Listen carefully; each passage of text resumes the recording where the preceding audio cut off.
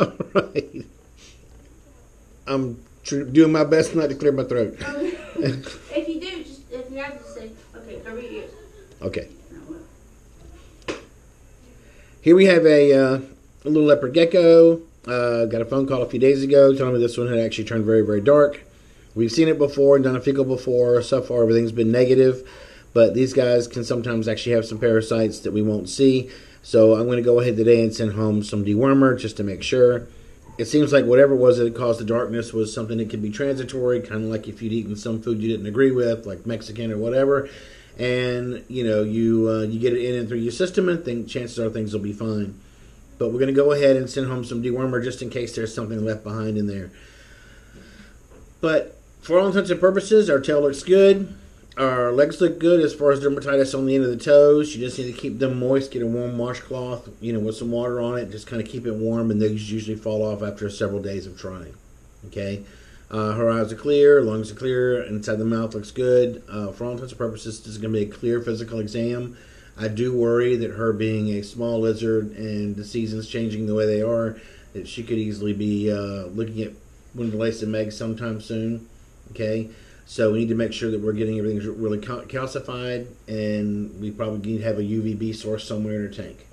Okay, that's the fluorescent bulb that we've discussed once before. Okay, you don't have one of those. A ceramic heat emitter and an undertank heater. You probably want to get one of these uh, fluorescent bulbs that produces UVB. And since she is one of those desert creatures, I'd get a desert bulb. Okay. Okay, and uh, put that on during the daytime. Turn it off at night. And if she needs the sun and needs to make more calcium, she can. Okay. All right. Any questions? Uh, so you say your tail is at a you know an appropriate circumference right now. Um, well, I mean, I've seen fatter, you know, Well, she's- that thick all the way to the end. Yeah, you know, so, but she's got a good store. Um, again, I think that the reason she lost so much body weight and had turned so dark is probably from some kind of enteric thing.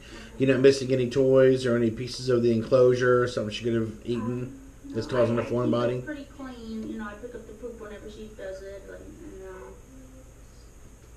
clean stuff straight. And then she has like three hide houses at a time, and I, I, I mix them up because she likes the changes. She likes to explore things that she hasn't seen. You know, so. But Okay. it's all you know, one part thing for the company. Well, let's see how this goes. Worst case scenario, we end up getting some uh, some X-rays in the future. Um, but for now, I think we just because she wasn't painful when I was picking her up and playing with her.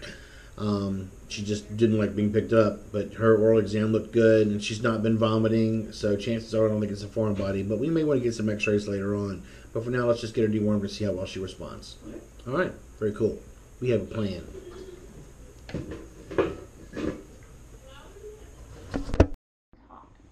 So it's part that, um, Dr. Flynn before said it was probably just because, you know, it's not been very cold at all this winter.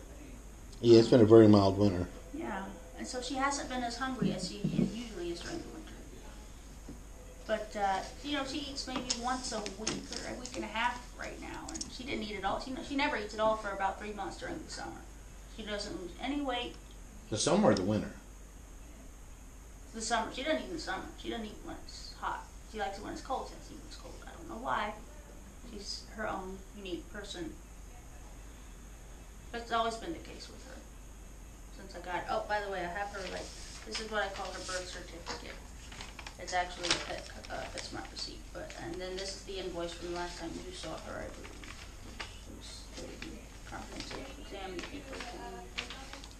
I meant to bring her logbook because I keep a, uh records of um, you know when she poops, what she eats when she eats, what the poop looks like and stuff. But I forgot to bring it. But it, it's nothing unusual. She didn't seem to have any diarrhea.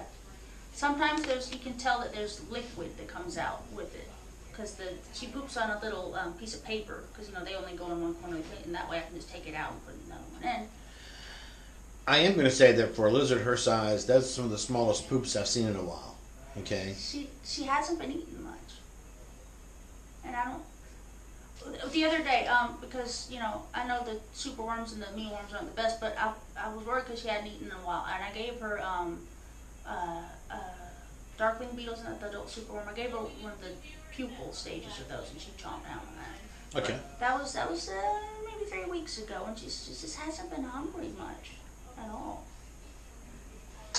But like she was brown, okay, and it scared me that day. Like she had turned a different color, and her tail was skinnier than it is now. It, and you know her tail was huge before, well over a hundred grams. At this point in time, with just the history alone, chances are there's still some parasites or something in there. Okay. Um, sometimes what'll happen is they may get a bad bug, um, with some bad bacteria or something inside the intestine, and that may cause them a little bit of a stomach ache, and that will actually cause them to get the dark color. That's one of the possibilities. It doesn't seem like it'd be respiratory. If it were, it would have lasted a lot longer. But she's having no trouble breathing. yeah, all that seems perfectly clear. The eyes are clear. Um, but I'm willing to bet you she is have some having some intestinal issues. Okay. So I cleaned the tank like completely with um, what is it? The, the, it's like the green stuff. I don't I don't know. It's like Reptid something. Okay. And I and then I wipe it out with water. And I do that once a month. Change the bedding, which is paper towels. And you know, so there's nothing. Oh, she she reared up, you know, of climb out, and she has a little white spot in there. Um, Yeah, I saw that. Okay. You got to put that What right you, there. what's that? Um, that white spot can just be her her uterus. Could be she's making some eggs. Okay. Um, I didn't see it look like it was coming to uh, like we thought pre post ovulatory and pre ovulatory. I didn't see any post ovulatory looking to that. Okay. Um, but this could be that time of year that she's trying. You know that, that she'd be making them, and that Could that- increase in filling of her belly would mean she'd eat less. Huh? Would that take the stuff out of the tail? It shouldn't. It shouldn't. But it might be taking up a lot of room in her abdomen because she does have a rather large abdomen. Well, Um, she's also quite chubby in general, as you know. But I've been trying. I've been trying to feed her. She has eaten some beetle seeds. They're not her favorite, but you know, if she hasn't eaten in a few days, I'll eat beetle. and like, eh, and then she'll crunch it. But she prefers the mealworms, and every now and then I'll give her crickets because every now and then she'll actually eat cricket.